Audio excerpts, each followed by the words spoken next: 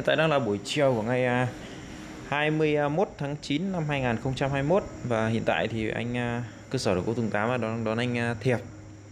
Gia đình anh Trang Thiệp tại Võ Miếu Thanh Sơn về ký duyệt một chiếc sập thờ chân 24 gỗ cụ thì bộ sản phẩm này bên xưởng là đã hoàn thiện mọc và để cho gỗ khô kiệt rất là lâu rồi.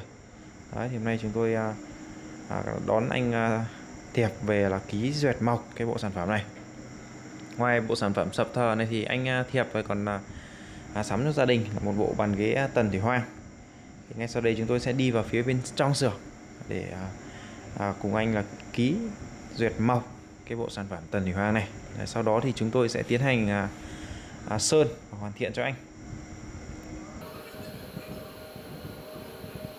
Đây đây là hình ảnh bộ ghế à, tần thủy hoàng sản phẩm tất cả những sản phẩm bên xưởng gỗ Tùng Tám đang còn à, nguyên mộc thì khách hàng có thể đến xem và ký duyệt mộc sau đó chúng tôi sẽ hoàn thiện sơn.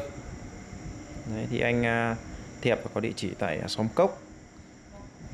Xóm Cốc à, xóm Cốc. À, xóm Cốc quý vị ạ xóm à, Cốc à, Võ Miếu Thanh Sơn à, Phú Thọ.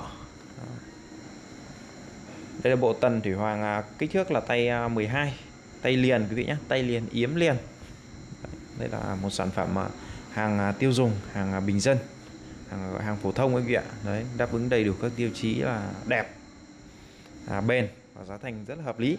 Thì quý vị nào có nhu cầu muốn mua sắm những cái sản phẩm đồ gỗ nội thất à, thì có thể liên hệ bên xưởng đồ gỗ Tùng 8 nhé.